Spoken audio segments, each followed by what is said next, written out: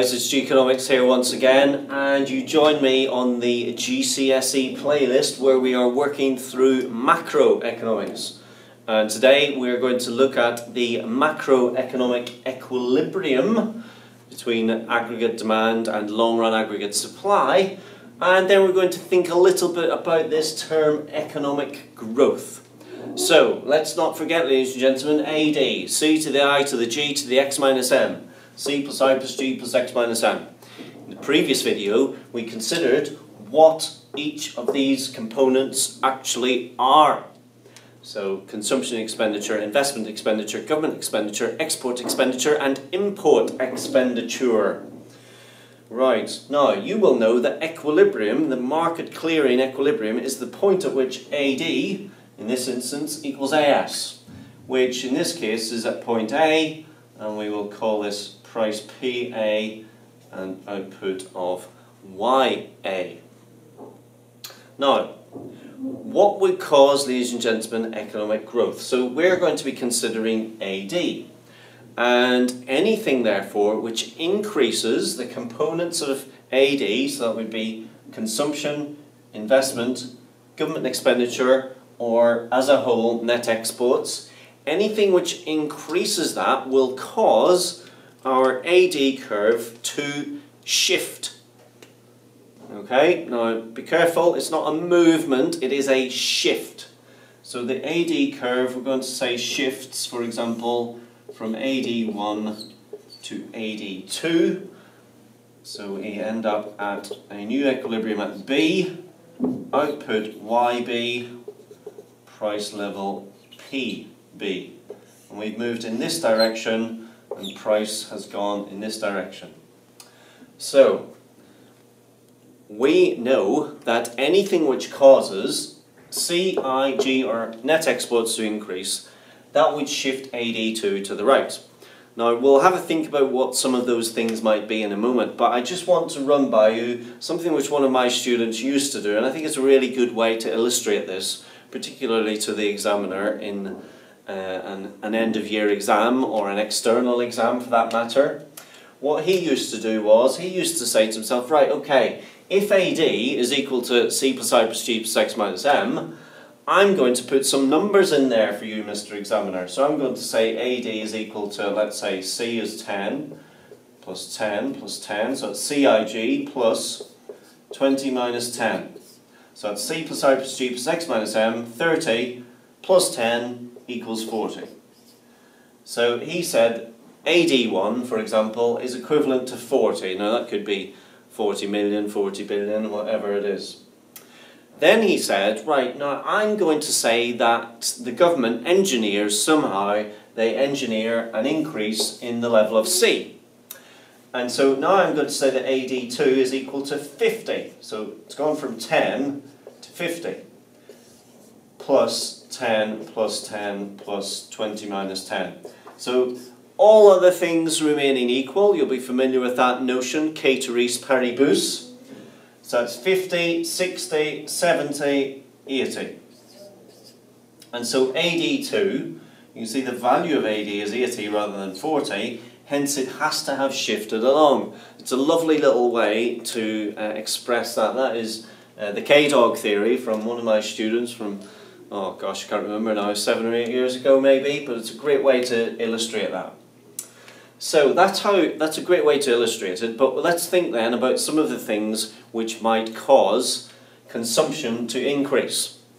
So, consumption, expenditure by firms on consumer goods and services in order to bring the consumer a certain amount of satisfaction. So let's think about some things the government could do to maybe stimulate consumption. Well, number one, the government or the Bank of England, they could make borrowing cheaper. In other words, they could lower the interest rate. Now that would help in a number of ways. Number one, if you were a homeowner or you're paying off a mortgage on a home and you're on what's known as a variable rate mortgage, then when the base rate falls, the building society, the, the bank should reduce the rate of interest on your mortgage. So that means you pay less on your mortgage, so you've got more for those little niceties in life, more for little treats. So as a consequence, consumption might go up. Or You could fiddle around with the tax bands and the tax brackets. And you could, for example, as the government have recently done, you could increase the personal tax allowance. So the amount of money that you can earn before you start paying any tax, as you well know, has gone up to 11,600. Well, that will give some people, lots of people, more money in their pocket, and so consumption may go up.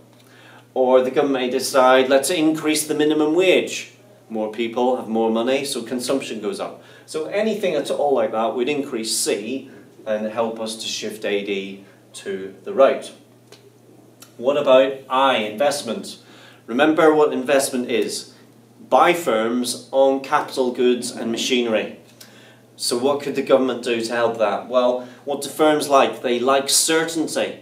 So the government or the central bank could make it very clear that they're going to maintain the rate of inflation in the economy at a nice constant level. That gives firms certainty, they're more likely to invest. The government or the central bank could reduce borrowing costs again because firms, not all firms have, not all firms are like Apple with billions of uh, dollars lying around. They have to borrow to buy large pieces of equipment and machinery. So they could reduce borrowing costs, that then incentivizes investment, and so as a consequent investment might go up. What could the government do? Well, the government, as we've talked about, the government raises its money through, I mean, the biggest revenue earner is, of course, through taxation, income tax. So the government could put increased taxes, give the government a little bit more money, spend more. Or, alternatively, the government could say, we're not going to increase taxes, we'll just borrow a bit more money. Now, you'll know, I'm sure, that in the UK we're already at, our borrowing is 90% of our GDP, so we're already uh, massively in the red in that respect.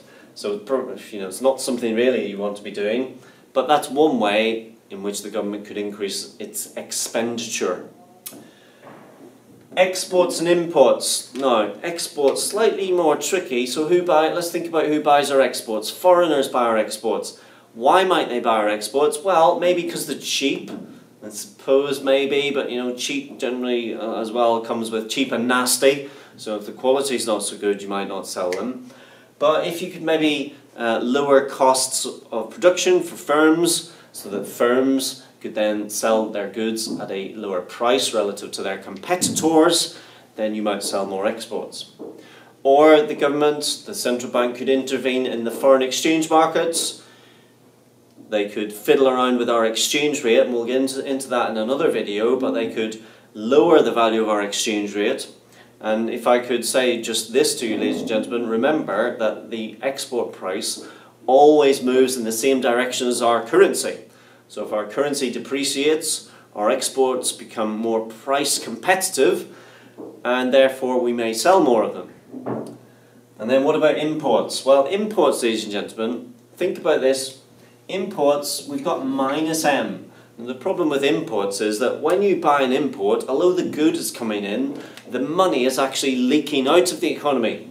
So therefore, if you want to boost AD, you want to have fewer imports, not more. So think about ways in which you could have fewer imports. And of course, Donald Trump, President Trump, is all about this at the moment, reducing the number of goods you know, coming in from abroad, being much more nationalistic in that respect. So think about that. You could, again, you could fiddle around with the exchange rate and make it more expensive to bring goods in from outside. Or you can put uh, barriers up, not physical barriers, not a wall, but you could put up, for example, trade barriers such as tariffs and quotas, or you could subsidize your own uh, domestic industries, and again, that would uh, help to prevent goods coming in from abroad. So again, that would help to reduce M, uh, import expenditure. And if you could do all of those, of course, the government, in it, what they want to do is they want to try and do all of these things, try and get them all moving in the same direction at the same time, so that AD is moving in this direction. Now, I'm sure you've noticed there is one sort of nota benesto here in terms of a trade-off. When we're going in this direction, real output's rising and that's all tip-top, ladies and gentlemen, but look at what's happened to the price level. Price level has gone up from PA to PB. So we're building in inflationary pressures into the economy, which at low and sort of stable rates is okay, but once it starts to get higher and starts to fluctuate maybe a bit more, um, a bit more um, unpredictably, I believe is the word I'm looking for, then that becomes problematic. So the whole management of this starts to become more and more complicated the more we delve into it. But that's as far as we're going to delve into it in this one, ladies and gentlemen. So that's it from me on this one. Bye for now.